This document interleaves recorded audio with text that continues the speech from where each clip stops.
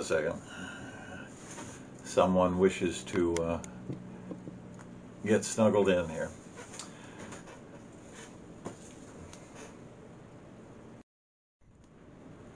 Hi.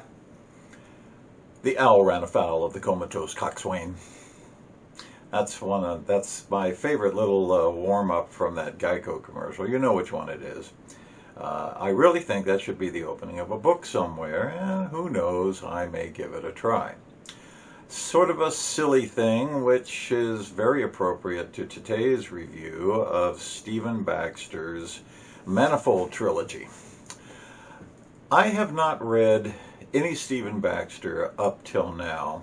Um, primarily because he's just not my type of sci-fi writer. I mean, I know who he is. He's, he's written quite a bit. He's uh, carved out his own little niche in the uh, entire science fiction pantheon. I mean, my God, the man's done uh, cooperatives with Clarke and Asimov. So you'd think I would have done, I would have read something by, from him by now, but no, because my science fiction tastes run to what we used to call mundane science fiction, but they changed that now to uh, near Earth or, or near future science fiction because who wants to read something that's mundane? I mean, come on.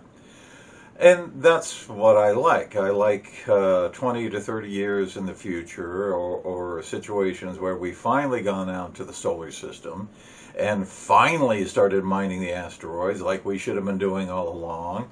And we finally got a base on the moon like we should have had 40 years ago.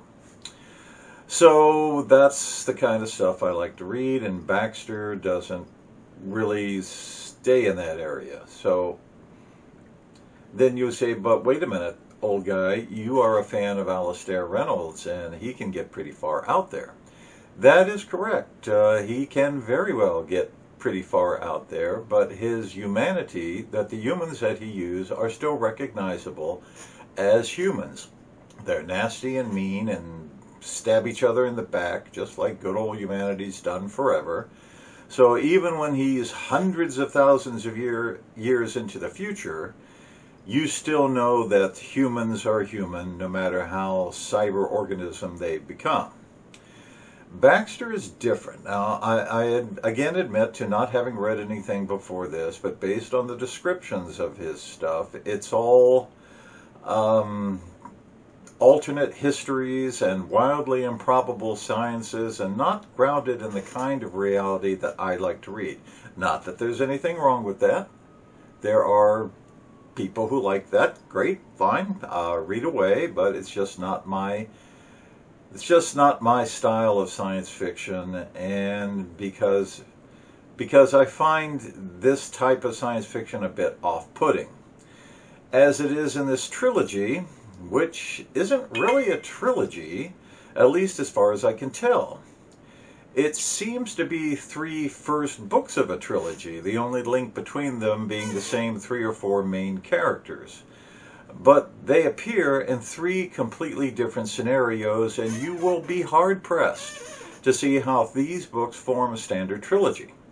I swear this is actually an octology with the first uh, books for each written, and now we wait for the remaining six books to emerge and complete the bewildering set of tales, which starts out in book one with future us trying to warn the near future us about the end of the world.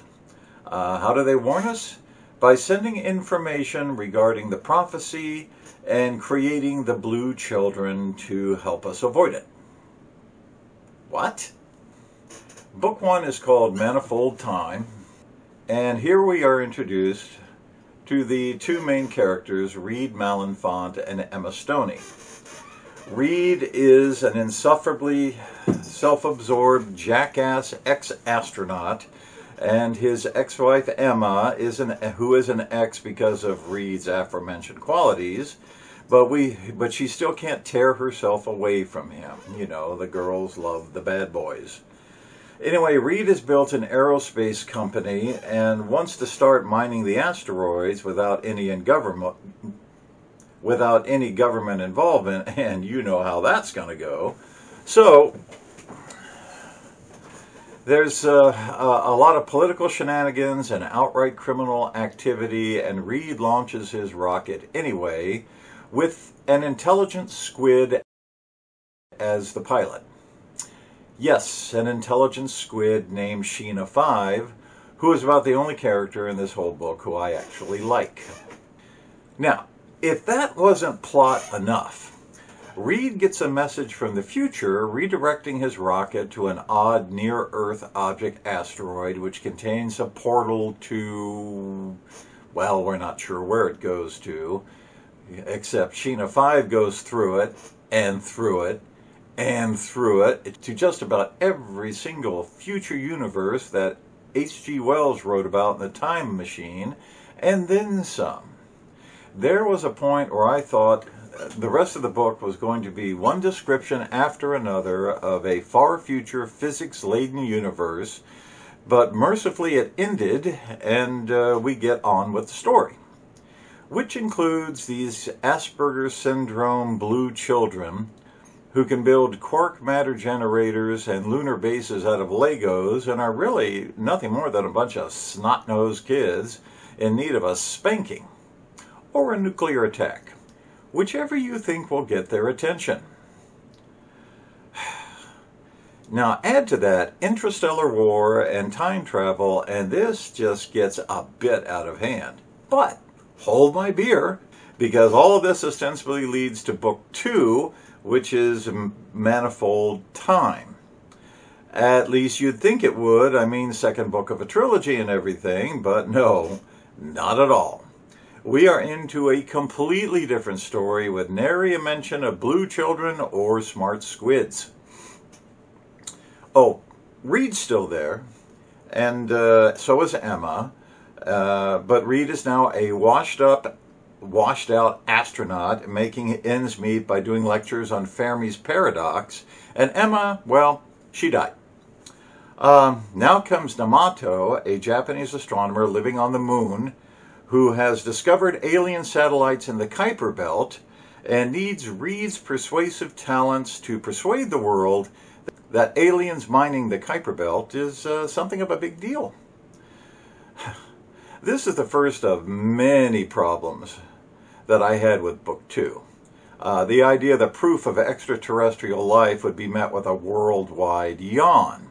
Yeah, I know we're all supposed to be jaded and ennui and unaffected, but come on.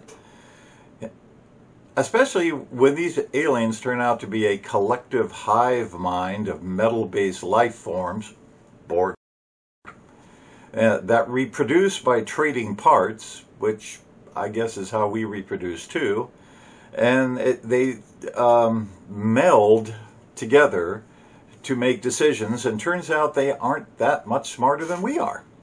Uh, in fact, they're here to exploit resources for their own benefit, but they become interested in us because we are the first alien race they've ever met that, ha- that has faith in uh, things outside of ourselves. And there's a bunch of other alien races all out there showing up at the same time. Fermi's paradox be damned including one called the Crackers, who like to nova stars for fun and profit. Uh, and they've got their eye on our star, and Nemoto, Nemoto is the only one who opposes them, and Malenfant's faith is apparently some kind of secret ingredient to netting a neutron star. And what any of this has to do with blue children, I have no idea. Then we get to book three Manifold Origin. So just forget everything I just said. Malenfant has now has been washed out of astronaut training because he doesn't play well with others and in a snit decides to fly to some conference in Africa in a borrowed T-38 with Emma in the back seat. No, she's no longer dead. They hear about a UFO over the Olduvai Gorge Olduvai, old whatever, the, you know, where Leakey found the bones. And they head over there and they crash into a blue portal exactly like the one that in book one that Sheena 5 went through. And Emma is ejected through the portal onto the red moon, which has suddenly replaced our moon. Reid wants to go to the red moon to rescue her, but the world is preoccupied by the earthquakes and floods and other assorted disasters that occur when our benign gray moon is replaced by a red one three times its size.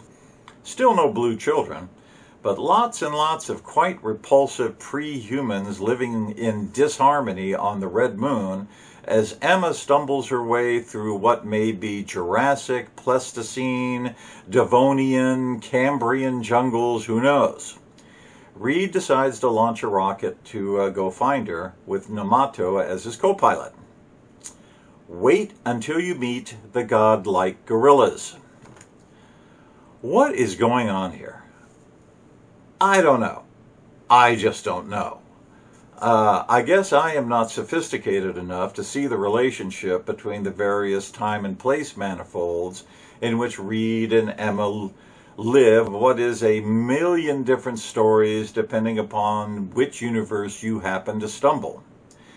If that's Baxter's point, okay, fine.